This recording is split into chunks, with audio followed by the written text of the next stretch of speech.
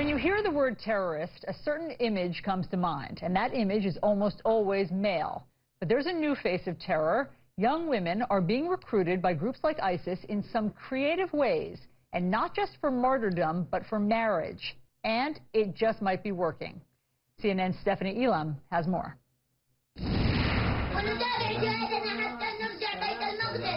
There's leaning in, and then there's arming up. The idea that women can be involved in jihad is something that people still don't take as seriously as they should. Women around the world are now taking part in jihad in Nigeria, Syria, and now in America. The number of women willing to give their lives to terrorist extremists, experts say, increasing over the last 10 years. We've seen Western women going to jihad in Syria for about a year and a half now. Why now? Experts believe terror group organizers count on women from Europe, Canada, and the U.S.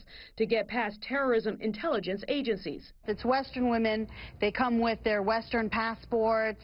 Um, they're going to fall under a radar screen. Majority of the women are going to go there to be traditional wives. But that's not always the case. Take American Shannon Conley. The 19-year-old is charged with conspiracy to provide material support to terrorists. She reportedly fell in love with an ISIS fighter online and allegedly was on her way to join him in Syria before officials picked her up in April. She was interviewed no fewer than nine times before her arrest by the FBI because she was scoping out a local church. Her attorney had no comment. Many of these women are radicalized at home, seduced on the internet. How are they appealing?